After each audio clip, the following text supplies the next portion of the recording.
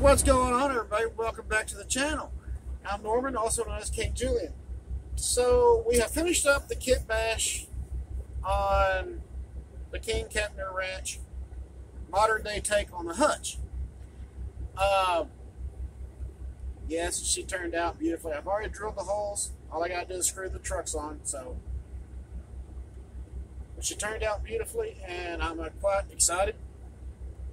But now I'm kind of on another project. Not only am I still working on the Kinki Sharyo cars, here's one of the cars that I've had for a while now, and I'm debating on whether or not to turn this into uh, part of the excursion train or a King Kepner car, a King Kepner ranch car. Um, more than likely, what will happen is this will wind up staying as a uh,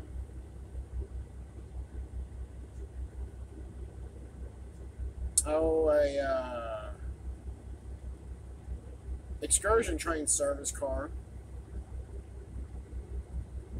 but I'm not too sure on that one either. Um, I kind of like the idea of having another car in there. Um, this one is actually a K line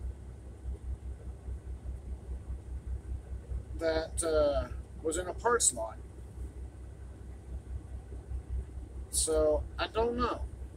We will soon find out how I go with this one. Um, I mean, because if I do the truck conversion and go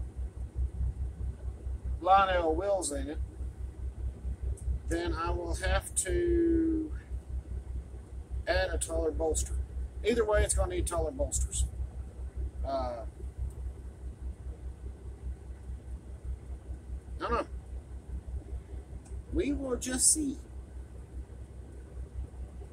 Would be kind of cool to have a uh, KKR here, feed and tack here. That's refrigerated. I don't know. We'll figure it out. As always, keep the shiny side up, rubber down. See you on the next video, and we'll see how this goes. Take it easy.